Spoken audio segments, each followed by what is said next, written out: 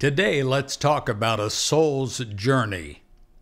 It says in 2 Corinthians 5, verse 5, He who has prepared us for this very thing is God.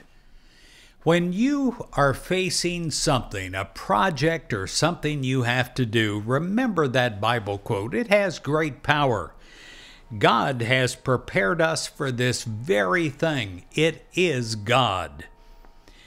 Well, since the moment you entered this physical realm, you have been searching to know more about this. Why am I here? And one thing you do know your soul has answered the call to a journey that leads you to a greater spiritual understanding. Hope began this journey, and faith sustains you along the way.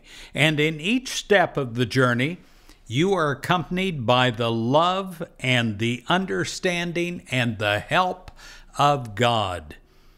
And you're gently and yet unfailingly guided along your way.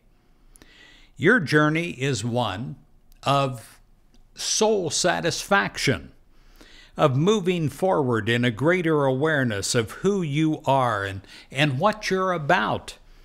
You are not driven by desperation, but inspired by a dedication to expressing God's life, God's love, and God's understanding through you. This is a journey of the soul that moves you forward in a spiritual understanding and discovery. You're on a journey, and you're on a journey of soul satisfaction and spiritual understanding.